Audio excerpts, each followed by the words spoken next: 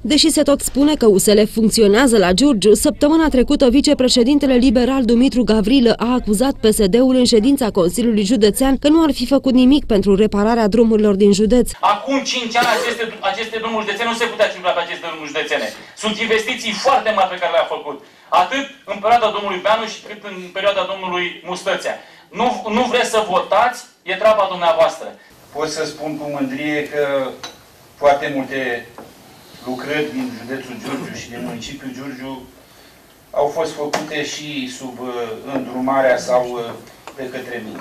Aceste afirmații le-au deranjat pe liderul PSD Nicolae Bădălău, care i-a cerut lui Gavrilă să se controleze și să consulte mai atent protocolul dintre PNL și PSD. Noi nu suntem sclavi pe plantația nici a domnului Mustățea, nici a domnului Gavril.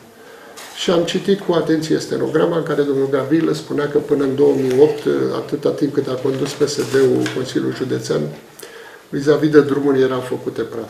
Eu l-am jucat pe domnul Gavril să, știind vasta dânsului experiență în drumuri și totuși să se controleze, pentru că dacă până în 2008 județul ăsta arăta mult mai bine și aș reaminti că 2000-2004 eu împreună cu colegul meu Marciu am luptat și am făcut București-Giurgiu și mult mai multe lucruri bune pentru județul ăsta. Din 2008, cât au fost dâns și nu prea se vede nimic și tot dăm pe gropi. Așa că ar trebui să se rețină ca să nu spunem mult mai multe lucruri și vis-a-vis -vis de prețul de pe kilometru în județul Giurgiu și de mod de administrare, fiind colegi, fiind în cadrul USL-ului și neavând voie să ne atacăm unii pe alții. Bădălău a mai declarat că la Giurgiu USL funcționează mai puțin, însă în Consiliul Județean, acolo unde liberalii nu au respectat niciun fel de înțelegere. Totuși, dacă PSD va reuși, va forma o majoritate PSD în Consiliu, așa cum și în Parlament a reușit să formeze o majoritate fără niciun fel de alianță, a mai spus Bădălău.